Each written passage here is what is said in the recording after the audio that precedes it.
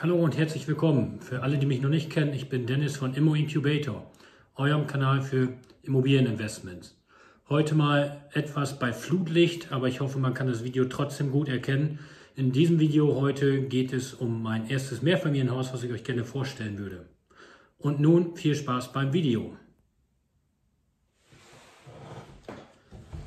Hallo zusammen, wie im Intro schon angekündigt, geht es heute um mein erstes Mehrfamilienhaus, was ich euch gerne vorstellen möchte.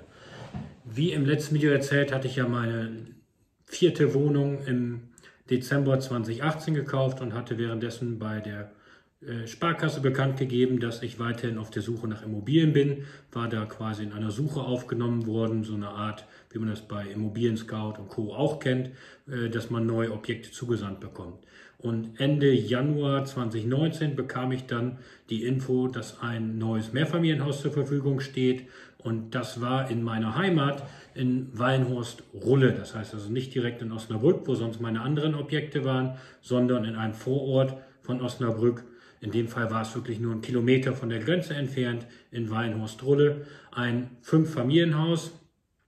Und da hört ihr schon raus, Fünf-Familienhaus ähm, ist etwas größer, ist etwas mehr als die Eigentumswohnung und deswegen wollten wir uns das mal genau anschauen. Es war aber so, dass ich gerade auf einer Prüfung äh, in Portugal war. Das heißt also, ich habe dort eine Prüfung gemacht beziehungsweise eine Projektbegleitung und das heißt, ich konnte nicht selber vor Ort gehen zur Besichtigung. Auch mein Schwager, den ich sonst häufiger schon mal geschickt hatte, konnte leider nicht.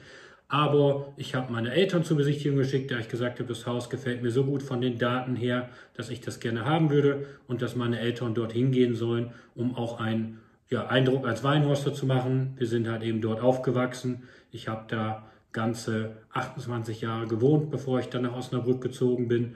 Und ähm, dementsprechend wollten wir da versuchen, einen Kontakt herzustellen, weil wir wussten, es gab insgesamt acht Besichtigungen und da das Ganze sehr interessant war, sind wir davon ausgegangen, dass es schwierig wird, das Objekt zu bekommen.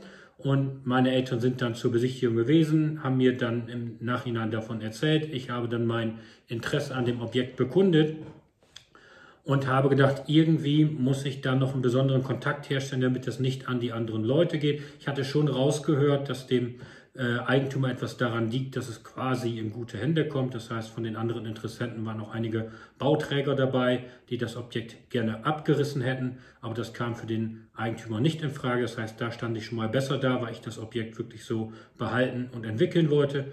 Das heißt also, mal zu ein paar Daten vom Haus. Es war aus 1933, das heißt also wirklich Altbau, teilweise noch mit Gewölbekeller, teilweise unterkellert, mit einem Anbau da dran. Es ist früher eine Gaststätte gewesen. Ich zeige euch hier mal ein Foto dazu. So sah das früher in den 70ern aus. Dort ist es noch eine Gaststätte gewesen. In den 80ern ist es dann laut meiner Info umgebaut worden, dass man dort dann Wohnraum daraus geschaffen hat, sodass insgesamt fünf Wohnungen entstanden sind. Davon sind drei Wohnungen im Erdgeschoss und zwei Wohnungen im ersten Stock.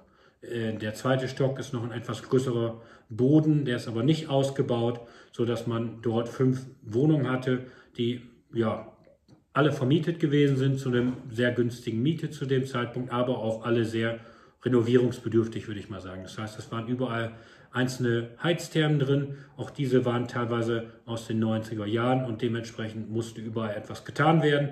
Aber dafür war der Preis gut, sodass man es entwickeln konnte. Und ähm, das Ganze wurde angeboten zu einem Faktor, glaube ich, von 16,7 ungefähr. Ähm, das heißt also mit Bruttoinvestitionskosten und allem drum und dran war man bei circa äh, 270.000 Euro. Dort war noch ein großes Eigentumsgrundstück dabei, ähm, welches zusätzlich noch ein Schuppen, ein Carport und ähm, auch eine Garage äh, beherbergte, sodass man dort noch ein paar mehr Möglichkeiten hatte. Kommen wir zurück zur Besichtigung. Dementsprechend war ich nicht in Osnabrück vor Ort, konnte also keinen persönlichen Kontakt herstellen, habe dann aber beim Makler gefragt, ob er nicht dem Verkäufer mitteilen konnte, ich hörte, der, kommt, der kam auch aus der Nähe, ähm, dass ich am Wochenende sowieso in Osnabrück wäre und dass ich ihn sehr gerne noch persönlich auf dem Kaffee kennenlernen würde und ob er dann vielleicht am Samstag oder Sonntag eine Stunde für mich Zeit hätte. Das hat der Makler dann an den Verkäufer weitergeleitet und der Verkäufer hat sich wirklich die Zeit genommen, mit mir zu sprechen. Nochmal vielen Dank dafür. Ich konnte also damals meine Geschichte erzählen, was ich mit dem Objekt vorhatte und wir haben uns auf Anhieb gut verstanden. Es gab dann zwar noch weitere vier Besichtigungen, aber am Ende habe ich wirklich den Zuschlag bekommen. Ich habe dann auch nicht mehr am Preis verhandelt, sondern den aufgerufenen Preis bezahlt, weil ich der Meinung war, dass das Objekt das wert war. Ähm, das Ganze war dann Anfang Februar und zum 1. März 2019 war der Übergang geplant. Das heißt, also wir waren dann im Februar noch beim Notar. Die Finanzierungszusage kam recht schnell von der ähm, Sparkasse, sodass ich das ganze Objekt zum 1. März übernommen habe. Jetzt gibt es natürlich noch ein paar andere Sachen, die man, die man da berücksichtigen muss. Das heißt also, ein Mehrfamilienhaus ist natürlich was anderes als, äh, als eine Eigentumswohnung. Und ähm, da gibt es eine Menge vor- und Nachteile. Aus meiner Sicht überwiegen dort auf jeden Fall, wenn man die Möglichkeiten hat, ein Mehrfamilienhaus zu kaufen, überwiegen aus meiner Sicht die Vorteile. Und ähm, da arbeite ich aber schon am nächsten Video. Das möchte ich euch dann gerne ähm, übermorgen vorstellen oder vielleicht noch am Samstag. Das muss ich sehen, wie schnell ich damit vorankomme. Da würde ich euch dann mal zeigen, was sind die Vor- und die Nachteile ähm, von Mehrfamilienhäusern gegenüber Eigentumswohnungen. Ja, dann werde ich euch jetzt hier noch ein paar Fotos zeigen. Auf der ähm, von mir aus rechten Seite, bei euch ist glaube ich die linke, äh, seht ihr noch ein paar Fotos, wie das Haus wirklich ausgesehen hat, wie es von außen ausgesehen hat.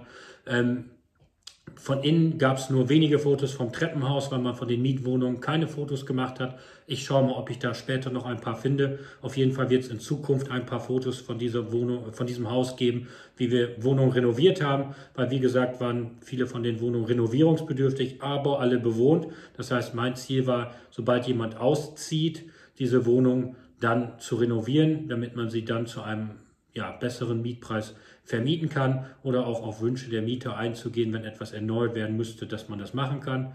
Ähm, zusätzlich musste ich aber hierbei berücksichtigen, ähm, dass es ja eine 15%-Grenze gibt. Wer da noch nichts von gehört hat, ähm, bei Immobilien gibt es eine Art 15%-Grenze. Es geht um den Gebäudewert. Das heißt, wenn das Grundstück jetzt, äh, sagen wir mal, 50.000 Euro wert ist und das Haus 300.000 Euro gekostet hat, hat das Gebäude einen Wert von ähm, 250.000. Und von diesen 250.000 darf man in den ersten drei Jahren maximal 15% netto investieren. Sonst muss man das Ganze über die gesamte Laufzeit abschreiben. Und äh, das ist wichtig zu beachten. Das heißt, in den ersten drei Jahren muss ich dort die Füße etwas stillhalten und etwas ja, mit den Renovierungen warten und erstmal nur das Nötigste tun. Davon sind jetzt inzwischen heute zwei, fast zwei Jahre um, sodass ich noch ein Jahr warten muss. Aber trotzdem haben wir während der Zeit die notwendigen Renovierungen schon gemacht. Aber das werde ich dann mal in meinen nächsten Videos zeigen. Ähm, was noch wichtig war, hier waren zwei Räume, die zu dem Zeitpunkt nicht vermietet waren. Das heißt, es waren zwei separate Räume, die zu dem Zeitpunkt keiner Wohnung zugeordnet waren. Und diese Räume wollte ich natürlich auch vermieten. Und da habe ich dann natürlich bei den, das war im ersten Stock, bei den beiden Wohnungen angefragt, ob noch jemand zusätzlichen Raum benötigt. Und da äh, war das Interesse dort. So konnten wir dann mit einem Durchbruch recht einfach diese beiden zusätzlichen Räume einer weiteren Wohnung zuordnen. Das heißt, dadurch haben wir dann 26 Quadratmeter mehr Wohnfläche gewonnen und konnten natürlich gleich einen neuen Mietvertrag aufsetzen, sodass es dann aus einer vorher Dreizimmerwohnung eine Fünfzimmerwohnung geworden ist. Und ähm, diese muss dann natürlich auch renoviert werden, das heißt neu gestrichen, neuer Boden rein und so weiter und so fort. Ich glaube, eine Heizung musste noch dran gesetzt werden, aber das werde ich dann in meinen zukünftigen Videos bezüglich der Renovierung aufzeigen. Ansonsten gab es bei dem Haus aus meiner Sicht nicht mehr viel zu beachten. Ja, es muss irgendwann mal einen neuen Anstrich bekommen. Das Dach soll aus den 70er Jahren sein, das heißt, das hält auch nicht mehr ganz so lange. Wie gesagt, die Heizungen waren aus den 90ern, ich glaube, die neueste war aus 2011. Es waren also fünf verschiedene ähm, ja, Heizthermen, sodass dort auch wahrscheinlich die nächste irgendwann fällig sein wird. Und ähm, das gilt natürlich auch zu beachten, aber in dem Fall habe ich gesagt, der Preis für das Objekt war so gut, dass man dort auf jeden Fall etwas übrig hat, um zu investieren. Und vor, vor allen Dingen war die ähm, Entwicklungsmöglichkeit gegeben, weil es wirklich an guter Lage in Rulle liegt und dort ähm, ja, der Stadtbus vor der Tür fährt, man in 20 Minuten mit dem Bus in Osnabrück ist. Das heißt also, die Lage passte, das Grundstück war groß mit Entwicklungspotenzial und das ganze Haus war zwar renovierungsbedürftig, aber nicht so, dass man sofort alles auf einmal machen musste, sondern dass man Stück für Stück renovieren konnte. Und ähm, das ist mir in der Zwischenzeit auch gelungen. Stück für Stück, mit Sicherheit noch lange nicht fertig. Das heißt also, ähm, auch, auch heute wohnen noch vier der Parteien dort im Haus. Eine Partei war ausgezogen und diese Wohnung wurde dann komplett renoviert. Aber das zeige ich euch im nächsten Video. Bis dahin wünsche ich euch alles Gute und ein schönes Wochenende und bis bald. Dennis von Immo Incubator. Ciao.